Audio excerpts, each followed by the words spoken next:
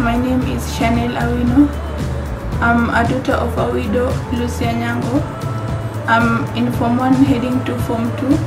I attained ABI. I would like to thank Come Together Widows and Orphans Organization for sponsoring me in my education and supporting me. God bless you.